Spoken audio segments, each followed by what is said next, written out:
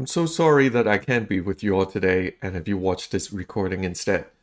For those of you who know me, know that I actually don't like preaching to a camera uh, or teaching to a camera. But something came up and I cannot be in Waterdown this morning. I promise I'll be back next week in person. This week we continue our series in disability and the church. I call this series the indispensables borrowing from the word of Paul in 1 Corinthians 12, in which he said the so called weaker parts of the body are actually indispensable for the church.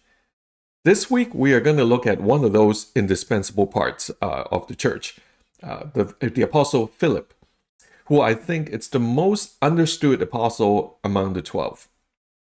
You see, the church decided uh, to, or chose to remember Philip in a rather interesting way.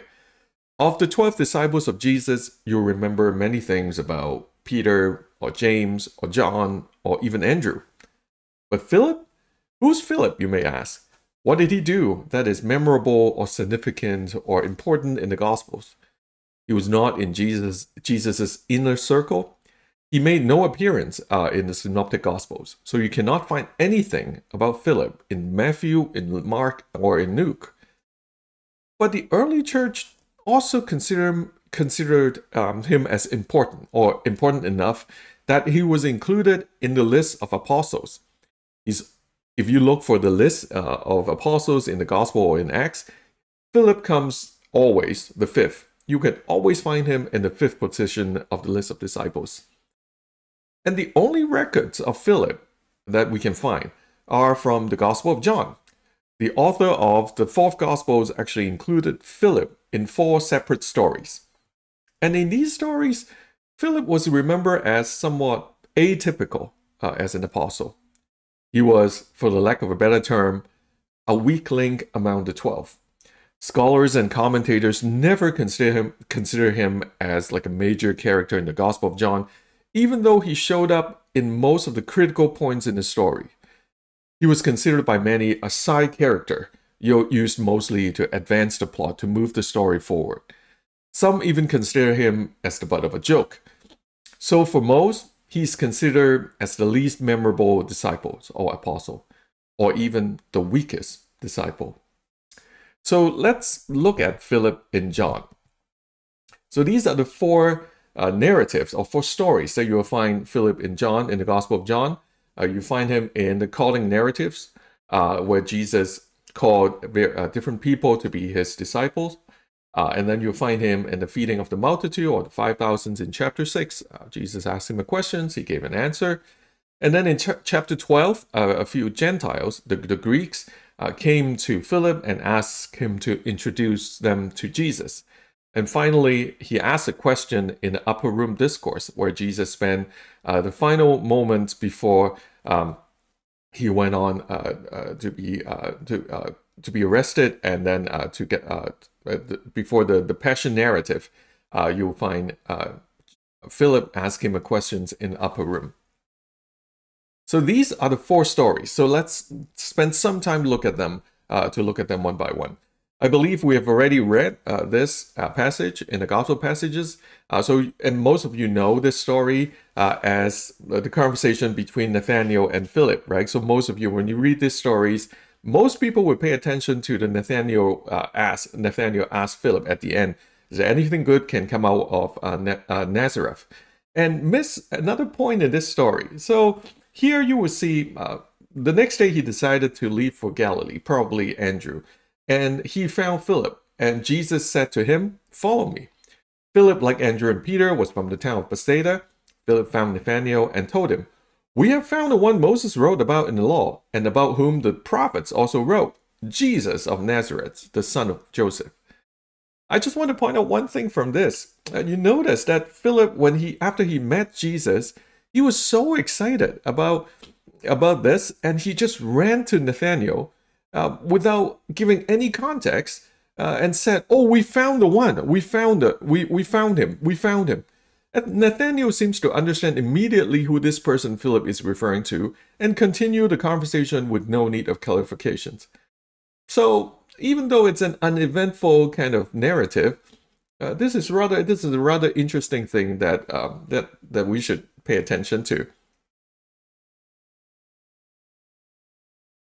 So the next time we see Philip is in chapter 6. Here uh, it says, When Jesus looked up and saw a large, a great crowd coming toward him, he said to Philip, Where should we buy bread for these people to eat? He asked this only to test him, for he already had in mind what he was going to do.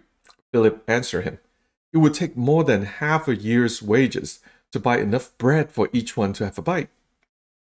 John clearly says here that it is a test for Philip a test to see how well Philip knows Jesus or whether he believes Jesus is capable to provide to provide to this large crowd.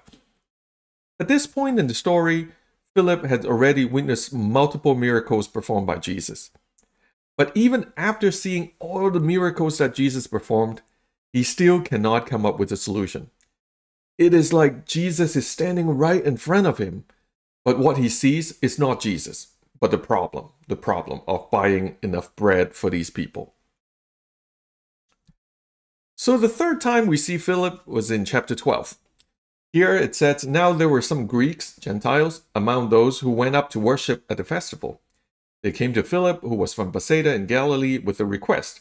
Sir, they said, we would like to see Jesus.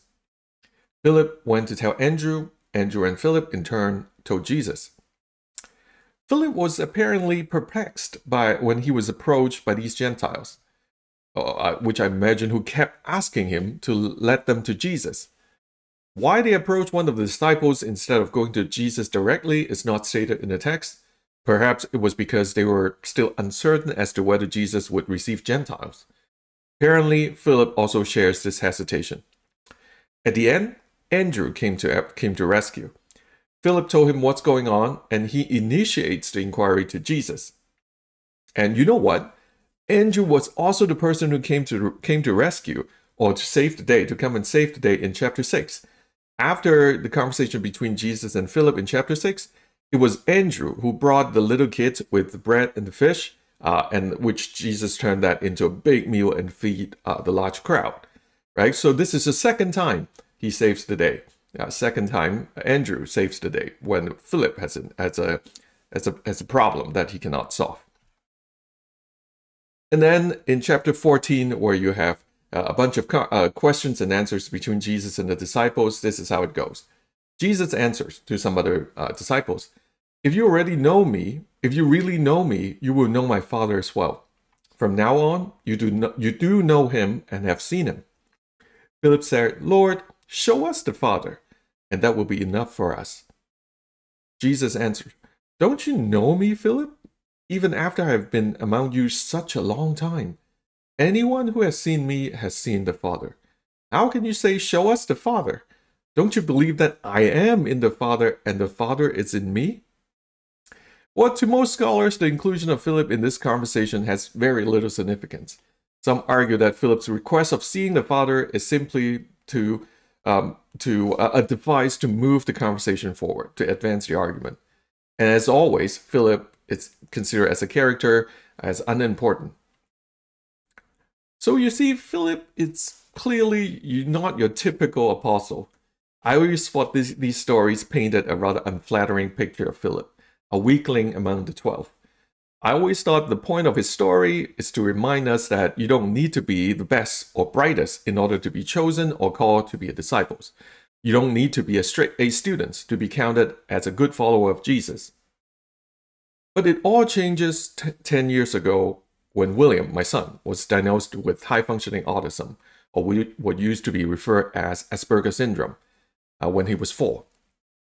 Like most, no, like most parents with special uh, need uh, kids, Irene and I spent the next several years getting our hands on every resource available to us to learn more about his condition. And the more I learn about Asperger's, the more I think the Apostle Philip may also be on the spectrum. But before I tell you my theory, let's talk about Asperger's, uh, Asperger's syndrome. Let me explain what it is. So if we want to talk about Asperger's syndrome, usually um, psychologists or or people uh, who are familiar with the syndrome would talk about this in three uh, different dimensions: social reasoning, way of communication, and cognitive ability. In terms of social reasoning, uh, Asperger's kids, or as they call themselves, Aspie kids, uh, usually have a delay in social maturing or social maturity. Uh, they usually have trouble or have difficulty reading a situations or reading people, uh, reading people's facial gestures or reading um, uh, other gestures that people make that has nothing to do with words. Uh, often they will miss important social cues or social reasoning has to be taught. Uh, they can find it overwhelming to be in a large social gathering where large amount uh, of social informations are there um, or many people talking at the same time uh, since it takes time for them to process aspects of a group conversation. So the delay of sometimes the delay of processing or responses may come across uh, to the conversation partner as being irrelevant uh, or having bad timing or too formal or even pedantic. So in terms of communications, they have uh, sometimes a tendency to give too much uh, information, or too much details of a particular conversation topic. Uh, they will also start the conversation without providing enough general context for other to follow their ideas. Uh, so I remember when William was six or seven, uh, one morning when we uh, go downstairs, uh, we were still living in the apartment building, go downstairs to, to the school, to the bus stops to wait for the school bus and he bumped into his buddies and he just ran to his buddy and said, It is so big. It is bigger than a house without giving any context. And obviously, the other kid was like quite confused and just go uh, left the conversation and went to play with other kids. But as parents, we know actually what's going on because right before he left uh, the apartment and go downstairs, he actually read a book about whales, uh, about how big the size of a whale. And he was so impressed with the size of a whale that sometimes a whales can be as big as like uh, like our apartment or a house. He was so impressed by that, he can't wait to tell his friends. So we just go there and then just burst out and say, "Oh, it is so big, bigger than a house." And even to this day, sometimes uh, he would just start a conversation by telling me uh, he's really into football, American football right now. He would start the conversation by just telling me that, "Do you know this quarterback or this particular players, which I've never heard of?" uh, did this in this game. And I have to remind him that you need to give me a little bit more context before you tell me something uh, so that I can follow and or also that I can see what, what is the point that you're making. So the kids, uh, the Aspie kids or uh, people with Asperger syndrome, uh, they sometimes also take words quite literal. Uh, they have trouble reading uh, between the lines, and some of them have trouble understanding idioms. I remember the first time that uh, we used to phrase raining cats and dogs. I need to tell him that uh, it's not literally cats and dogs uh, coming down from the sky. It's it means uh, heavy rain. In terms of cognitive ability, um, the, the, people with Asperger's or, or high functioning autism usually are uh, have some kind of. You'll hear people uh, characterize them by having an obsession or high level of fixation or with a particular topic often uh, have a really remarkable enthusiasm for their special interests that they may not realize or recognize other people do not share the same level of enthusiasm. They will often come across as being nerdy or like a walking encyclopedia. I remember, I remember William went through a phase where he can name every single kind of uh, every kind of dinosaurs that I've never heard of with words that has eight syllables. Um, and he's also really into Jeopardy uh, lately. And usually, when the topic that uh, he's interested come up, like 20th century history, for some reason, uh, he can usually uh, answer all the questions uh, in, in, in, in that category. So this is uh, I, someone with Asperger syndrome. You may you, have, you may already have met some people with Asperger syndrome in your life, but this is generally the behavioral traits that you'll find for people with Asperger. So now, let's go back to Philip. With that kind of understanding of uh, as uh, what is an Asperger, a person, a person with Asperger syndrome, let's put on a lens and read the story again. In the first story, Philip, when as I said, Philip started a conversation without giving much context to Nathaniel. Right, this is the remarkable enthusiasm for a special interest. Right, and for him, this special interest or this topic is the messianic hope in the law and the prophets, right? It, this is something that he fixated on. And I'm sure he kept bringing it up in his conversations with Nathaniel. So that's why Nathaniel needs no explanation or clarifications. He just went to him and say, "We found him. We found the one Moses wrote about in the law and about whom the prophet also wrote. And Nathaniel just click and he just know what's going on. The second episode here, when confronted with the problem uh, of feeding the multitude, all of a sudden, what what he sees, it's not uh, what Jesus is trying to do. Jesus was actually expecting an answer like, "Yes, Lord, you can actually provide. Yes, Lord, you can." But Philip almost because of the, the, the way the question is formed, right? The question is not, do you think I can do this? But the question is, do you think, uh, where should we buy bread for these people to eat? And all of a sudden, buying enough bread takes over as the problem. So instead of reading between the lines and see what Jesus is getting at, he was fixated with the literal meaning of the questions. To him, it is literally about what is involved in purchasing enough bread for 5,000 people. He failed to read between the lines. And in the third episode, here, so Philip clearly does not know how to read the situations. After living with Jesus for three years, mentoring under him for the whole time, he still does not know how to read Jesus. And finally, in the fourth episode here, once again, it is the literal meaning that gets in the way. It is what keeps him from understanding what Jesus is trying to say. Uh, the, the, the discussion of an unseen father and the abstract idea of Jesus being the way, the truth, and the life, and the discussion of a place where Jesus is going to prepare for them, it's apparently too much for him to process in such a short period of time with so many people asking questions in the same room. So if you look at Philip with the lens of Asperger's, all of a sudden you're not looking at the weakest link of the apostle. He's not the weakest apostle. I think what John is trying to do here, after all, it's not to badmouth Philip or to, to, to paint a picture, an unflattering picture of Philip. What he was trying to do may simply be telling the reader exactly what happened. And more importantly, I think the questions we need to ask today is why did the church or the early church choose to remember him this way? Why did they allow the author of the fourth gospel to portray an apostle this way? That is, as someone who can read between the lines, who can read a room, who takes things too literal, who speaks without giving much context, why didn't they polish the description a bit? Why didn't they make him more like the other disciples, more like Peter? more like John, more like James. Over the years, as I said, many explanations, uh, there are many explanations for this. But I think if we read the story from the perspective of a believing community that embraces people with disabilities, a unique perspective is, uh, is presented.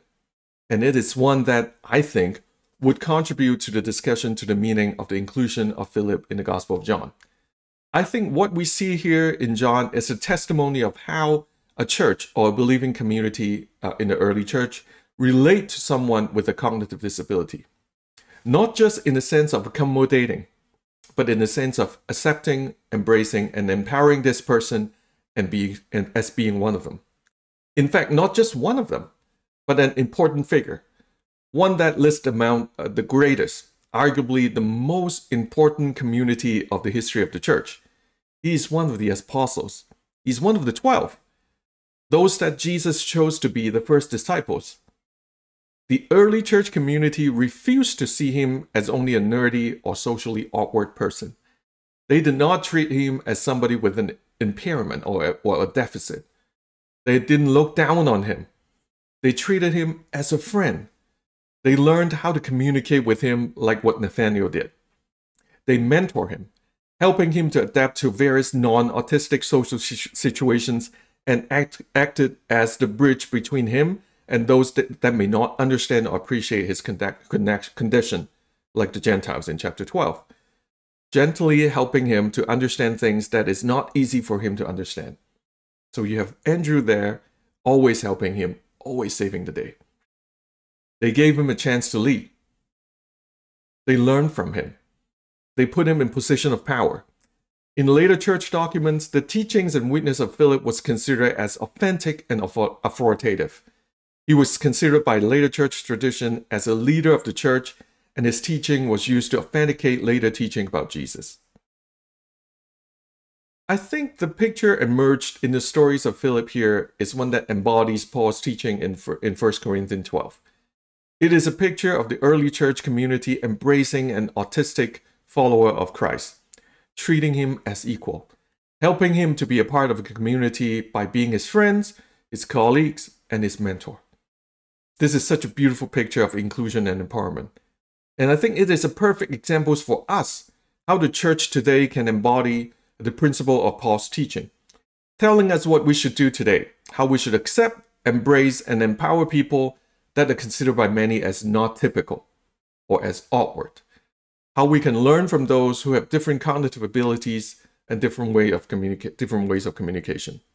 So this is the story of Philip. Thanks be to God.